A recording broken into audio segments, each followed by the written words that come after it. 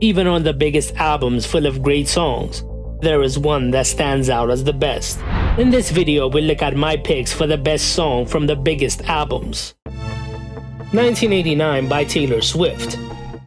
Taylor Swift's 1989 was a game changer for pop music, with Taylor transitioning from country to a full pop artist seamlessly. Released in 2014, debuting on number 1 on the Billboard 200, with first week sales of 1.2 million copies. The album became one of the best selling albums of the decade, with over 10 million copies sold. Blank Space is the best song on the album in my opinion. It is the perfect pop song, with clever lyrics and multiple catchy hooks. The song topped the charts globally, spending seven weeks on number one on the Billboard Hot 100. Other amazing songs from 1989 include Style and New Romantics from the Deluxe, both of which showcase Taylor's ability to make fun bangers. Future Nostalgia by Dua Lipa. Dua Lipa's Future Nostalgia was a breath of fresh air in the pop music landscape upon its release in 2020. It debuted on number 4 on the Billboard 200 with 66,000 album equivalent units sold in its first week. The album received widespread critical acclaim and commercial success, selling more than 4.3 million records just in the US since its release. Its infectious blend of disco, funk, and pop influences made it an unforgettable album. Physical was my standout track from the album, with its euphoric energy and irresistible groove. The song peaked at number 3 on the UK charts and earned Dua Lipa multiple award nominations. Other standout tracks from the album include don't Start Now and Levitating, both of which became the biggest hits from the album. The Fame by Lady Gaga. Lady Gaga's The Fame was her groundbreaking debut album that introduced the world to Gaga's unique blend of pop, dance, and glam rock. Released in 2008, the album sold over 15 million copies worldwide and earned her critical acclaim and catapulted her to superstardom. It first debuted on number 17 on the Billboard 200 with sales of 24,000 units, but the sales grew over time. Paparazzi is the best song on the album, with its infectious melody and theatrical flair. The song topped the charts globally and earned Gaga multiple awards and nominations. Other notable tracks from the fame include Just Dance and Poker Face, both of which were chart topping hits, helping establish Gaga as a pop icon. After Hours by The Weeknd the Weeknd's After Hours was a massive commercial success upon its release in 2020, cementing The Weeknd's status as one of the biggest stars in music. The album debuted on number 1 on the Billboard 200 Albums chart, selling 444,000 album equivalent units in its first week, and received widespread critical acclaim for its innovative sound and introspective lyrics. Blinding Lights is the best and biggest song from the album, with its infectious synth-pop sound it never gets old, even if it's now the biggest song of all time. The song topped the charts globally and broke several records, including becoming the most streamed song on Spotify. Other notable tracks from After Hours include Faith and the title track After Hours, both of which are criminally underrated and showcase the Weeknd's versatility and artistry. Anti by Rihanna.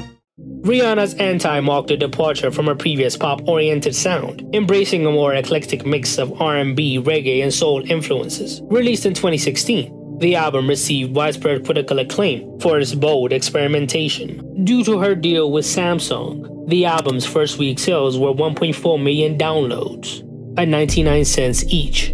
It is also one of the best-selling albums of the 2010s, selling more than 7 million units worldwide. Love on the Brain emerged as a standout track from the album, with its soulful melody and Rihanna's impeccable vocal performance on the song. It received widespread praise from critics. It is a highlight at her concerts. Other notable tracks from Anti include Kiss It Better and Consideration with SZA, which are some of my favorite Rihanna songs of all time.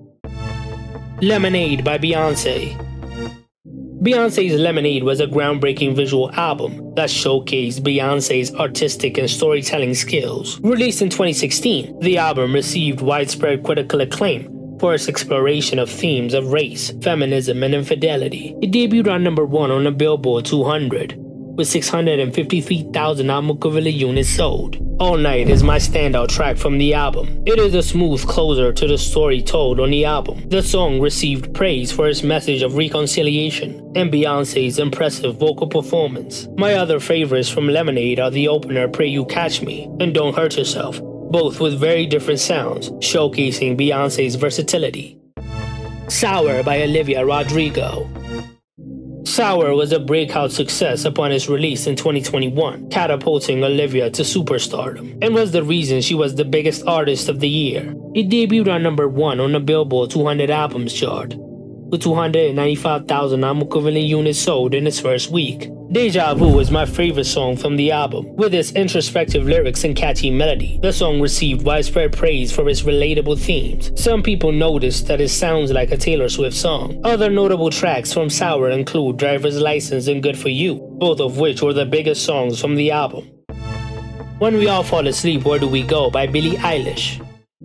Billie's debut album was a groundbreaking release that made her a superstar upon its release in 2019. The album debuted on number 1 on the Billboard 200 Albums chart, selling 313,000 album equivalent units in its first week, and received widespread critical acclaim for its innovative sound and dark and introspective lyrics. With over 3 million copies sold in the US alone, it became one of the best selling albums of the year. When the Party's Over is my standout track from the album, showcasing Billie's haunting vocals with minimalist production. The song received praise from critics for its emotional depth and vulnerability. Other notable tracks from the album include Bad Guy and Bury a Friend, which further showcase Billie's unique blend of pop and alternative influences.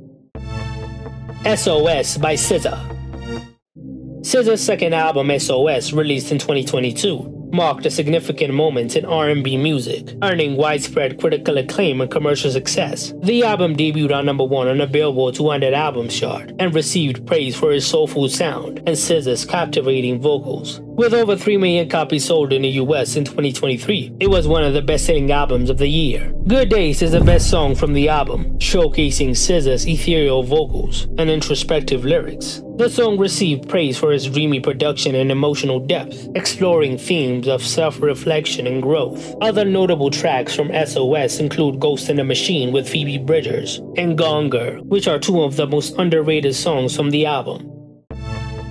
Purpose by Justin Bieber. Justin Bieber's Purpose marked a comeback for the pop star, showcasing a more mature and introspective side of JB. Released in 2015, debuting on number 1 on the Billboard 200, with first week sales of 649,000 equivalent units. The album received positive reviews from critics and became one of the best selling albums of the year. Sorry emerged as the standout track from the album, with its infectious beats and summery vibes. The song top charts worldwide and earned Bieber critical acclaim. It was an absolute banger. Other notable tracks from Purpose include What Do You Mean and Where Are You Now, both of which further solidified Bieber's status as a pop icon. What do you think about my opinions? Tell me in the comments below.